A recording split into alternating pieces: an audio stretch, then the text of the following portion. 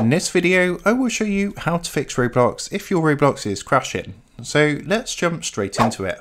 So if you're trying to play Roblox and it's crashing, there's a couple of things you can change in the settings to actually try and resolve this issue.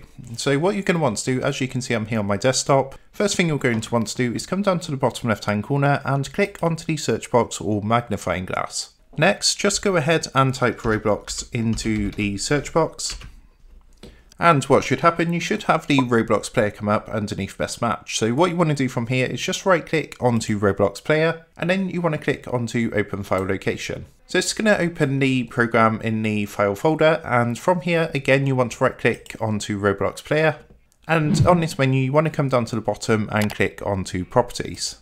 Next, what you want to do is come up to the top and you're going to see we've got some different tabs up here. So like shortcut details, what you're going to want to do from here is click onto compatibility.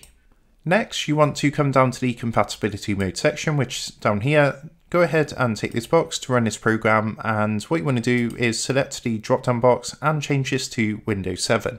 After this, what you want to do is come down to the settings section down here and you want to tick the box that says run this program as an administrator. When that's done, go ahead and click the apply button down here and the final thing you're going to want to do is actually to run the compatibility troubleshooter. So to do this, you'll see the button is here. So just go ahead and give that a click. What it's going to do is basically going to see if there's any issues with loading the program or if there's anything they can fix automatically to resolve Roblox from crashing. So what you're going to want to do, you're going to get two options and you want to click on to try recommended settings. From here, just go ahead and click test the program. And what it's going to do is going to reinstall Roblox and it's going to basically run a quick test to see the best program settings. So once this is done, you'll see it says successfully installed. And what you want to do is click the green OK button. Now go ahead and click next down here. And then all you want to do, you're going to get three options. You just want to click the top one that says yes, save these settings for this program.